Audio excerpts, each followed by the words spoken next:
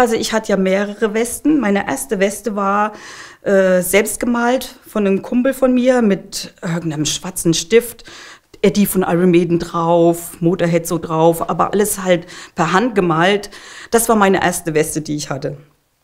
Meine, das war, das war dann auch schon, wo ich versucht habe, Aufnäher zu kriechen, es war ganz schwierig. Dann habe ich von einem Kumpel eine Weste be, bekommen, die hat er von seiner damaligen Freundin sticken lassen. Ähm, Judas Priest, Motorhead, alles bestickt gewesen, richtig toll. Und die habe ich für Lau damals von ihm bekommen und war ich total glücklich, weil die total cool war. Äh, ich war dann, wie ich äh, mit meinen Eltern äh, das zweite Mal in Ungarn war, äh, dann habe ich mir dann dort Aufnäher schon gekauft, Niedenköttel gekauft.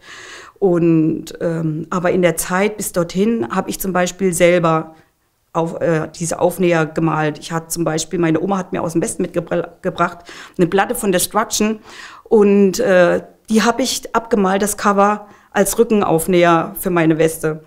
Und habe das auch nochmal für einen Kumpel gemalt. Und dann habe ich mit Siebdruck zum Beispiel äh, Sodom äh, auf, Aufnäher gemacht oder Halloween selber gemalt.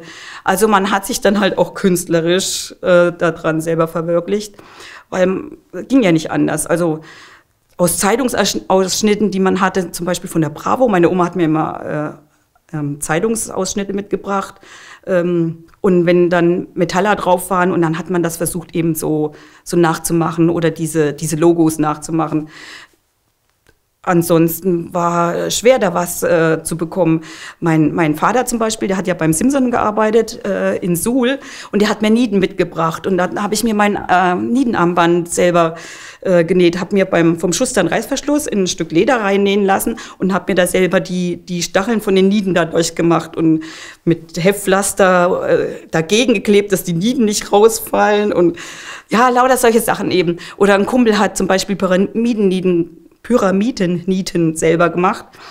Äh, das Stück ein, eine Mark oder 50 Pfennig damals. Also da, wer da was konnte, der hat sich da sogar ein bisschen sein Geld mit verdient. Und T-Shirts zum Beispiel gab's ähm, auf dem kalten Markt, hieß das, in der Rhön bei uns.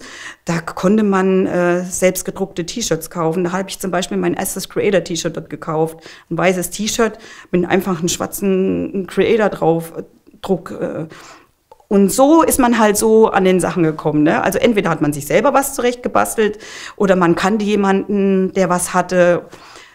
Das war so die einzigste Möglichkeit. Oder eben in, in Ungarn, dann konnte man, wer das Glück hatte, nach Ungarn zu fahren oder dahin zu kommen, da konnte man sich natürlich auch eindecken.